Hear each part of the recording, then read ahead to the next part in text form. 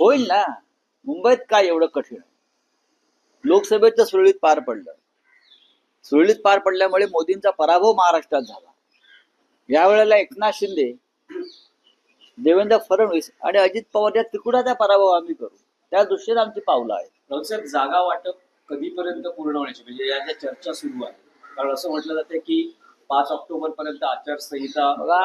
आचारसंहिता लागण्याच्या आधी जागा वाटप पूर्ण झालेलं असेल. आमच्यासाठी जागा वाटप ही अडचण नाही. स्वतः माननीय शरद पवार साहेब असतील माननीय उद्धव ठाकरे जे असतील नाना पटोलेजी किंवा त्यांच्यावरचे दिल्लीतला हायकमांड आहे.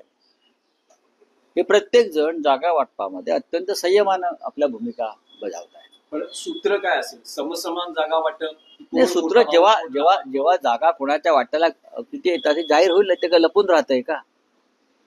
सूत्र कसलंय जिंकेल त्याची जागा हे सूत्र आहे. काही काही तर वन नेशन अशी अशी बातमी आली आहे की दहा जागा कमी ज्या पण मुख्यमंत्री पद आम्हाला हवंय असं आपल्या पक्षाचं अं, भूमिका आहे. ते काही जागा कमी आहेत जे महाविकास आता त्यांनी ज्या ज्यांनी ज्या बातम्या दिलेल्या आहेत ते आमच्या बरोबर बैठकीला होते का बसलेले? हा ते होते का आमच्या बरोबर? कालच्या बैठकीला किंवा आधीच्या बैठकांना?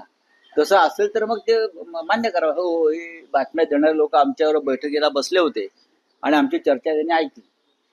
या हे चर्चेचे विषय नसतात हे या पत्रकारांना बातमीदारांना कळलं पाहिजे.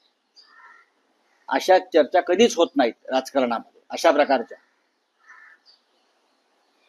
उद्धव ठाकरे जे मुख्यमंत्री झालेले आहेत ही या राज्याची तेव्हाची गरज होती आणि महाविकास आघाडीची गरज होती हे लक्षात घ्या.